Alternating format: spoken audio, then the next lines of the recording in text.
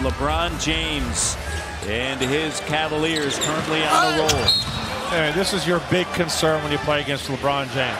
You can live with the scoring as long as it's not this, not layups, not getting to the basket. You can live with the jump shots. But when he's distributing, getting everybody involved, he's got 12 assists. Kingdom in theaters June 22nd. The park is gone.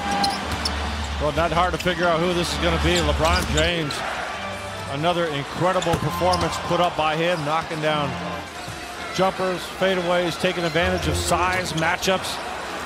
Been doing it all game long, making his team this season in the NBA not to lose consecutive games at home.